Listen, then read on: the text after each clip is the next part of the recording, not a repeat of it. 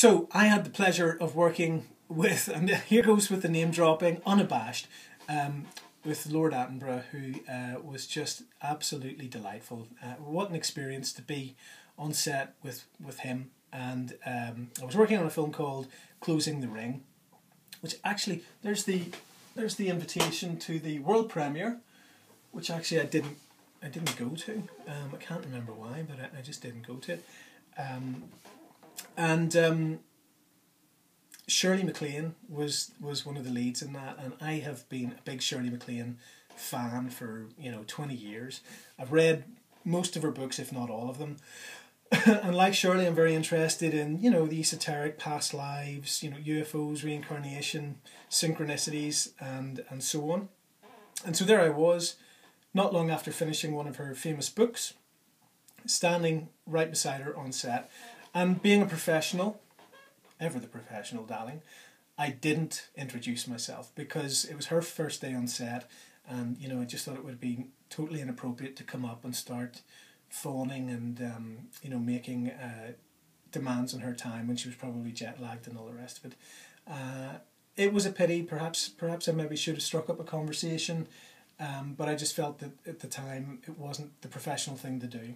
But it was lovely to be there with her, and I also had the privilege of being uh, overhearing Pete Postlethwaite, whom Steven Spielberg called the greatest actor, you know, of our time, being asked by a little kid if he was an actor too. So this little Pete was sitting on a on a on a wooden box having a cigarette, and this kid says to him, um, "Here, Mister, you in this film too?" And uh, kid, Pete says, "Well, well, yeah, mate." And he says, uh, he says, so what, what have you been in? Have you been in the TV? He says, yeah. He says, what have you been in? He says, uh, oh, Jurassic Park. He went, you in that? What one were you? I don't remember you. So anyway, that was just lovely. But there you go, kids. They say the funniest things, don't they? Um, the thing with Lord Attenborough that made my day, I was just playing a cop, you know, a generic Northern Irish actors. It's a real generic thing. You get to play an RUC man, okay, a policeman, or a terrorist of either of either paramilitary persuasion, and that tends to be it. Okay, occasionally you might play a drunk layabout, you know, so, but you know, it, like all actors, you know, we we often have to sort of fit into certain perceived stereotypes. So there I am playing a cop, and um, I just had a couple of lines. I actually haven't seen the film, but uh, Lord Attenborough came up to me. He's eighty five, I think, at the time, and um, he actually called me darling which you know you've seen the you've seen the impressions. You know, everyone says, "Hey, lovey and darling," and all this. And he actually did call me. He touched my shoulder and he said, "That's wonderful, darling. Just just just keep it like that. That's lovely."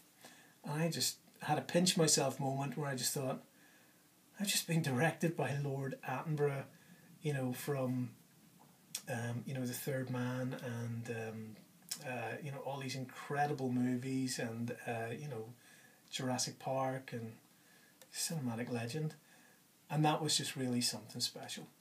Um, so there you go. Very, very special little moment for me. There I was on set with Shirley MacLaine, Pete Postlethwaite, and Lord Attenborough. And um, you know these things. These things can come along. One day you can be waiting for your, you know, you'd be chasing money for a sausage commercial for six months, and then next day you're on set with some, you know, absolute legends. And it's a pleasure and a privilege to be there contributing on any project of that stature.